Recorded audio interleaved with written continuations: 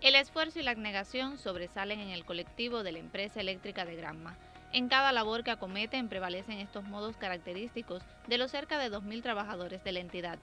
Tal accionar avaló la entrega por quinta ocasión del estandarte que lo signa entre los colectivos vanguardias nacionales del país. Haber cumplido nuestros planes de inversiones dirigidos sobre todo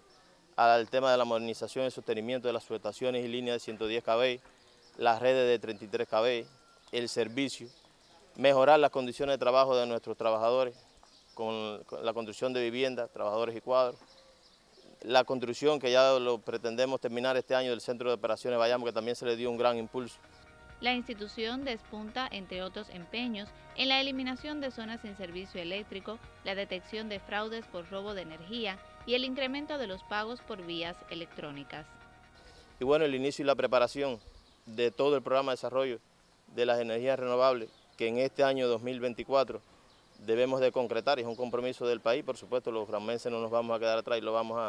a, cumplir, la preparación de todo ese programa inversionista, que ya comienzan a, llegar los primeros en vivo en la primera quincena del mes de, mayo, nosotros estar listos para cometer esa gran inversión o esas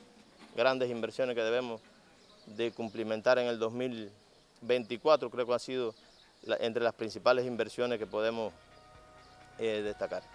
Con el inicio de la construcción en este 2024 de un nuevo parque solar fotovoltaico en Bayamo, la provincia aspira a incrementar la actual capacidad de generación eléctrica que se produce con fuentes renovables.